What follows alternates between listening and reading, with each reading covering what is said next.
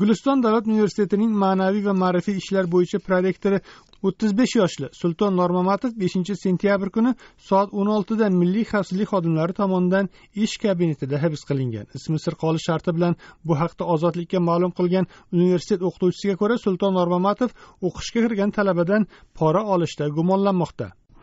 Milliy xavfsizlik xizmati e, pora bilan ishlab ketgan o'zini xonasida kabinetida hozir e, universitetdagi gap so'zlarga qaraganda e, besh yuz dollar olgan e, bu besh yuz dollarni o'sha ijodiy imtihonlarda ma'qul kotib bo'lgan kirish imtihonlari paytida mana bu skulptura musiqa degan yo'nalishlar bo'yicha o'shanga kirgizgan talabalardan kelishuv bo'yicha endi pul talab qilganda avval kelishilgan bo'lgan o'shani endi olib bergan payti qo'lga tushgan.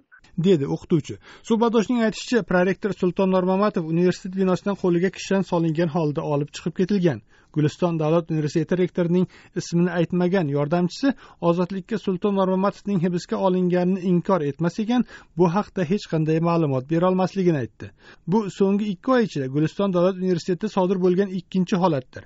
Universitet o'qituvchisining aytishicha bundan ikki oy muqaddam filologiya fakultetining domlasi ham pora olganlikda gumonlanib hibsga olingan edi.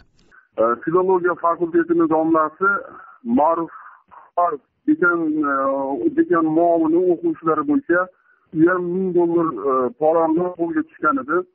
Bu narsa shuni ko'rsatadiki guliston davlat universitetida e, korrupsiya qanchalik avj olganligini ko'rsatadigan bir dalil deb hisoblayapmiz.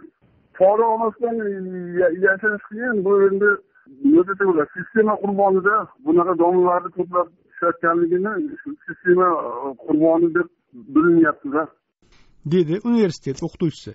Kuzatuvchilarning aytishlaricha guliston davlat universitetidagi bu voqea keyingi oylar ichida o'tkazilayotgan tozalash tadbirining bir qismi deb ko'rilmoqda. Yigirma yettinchi avgust kuni jinoyat ishlari bo'yicha guliston shahar sudida o'tkazilayotgan mahkama paytida kutilmaganda sirdaryo viloyati milliy xavfsizlik xizmati maxsus guruhi sud zaliga kirib kelgan va sudya davlat qoralovchisi hamda sudlanuvchining advokatini olib chiqib ketgan edi.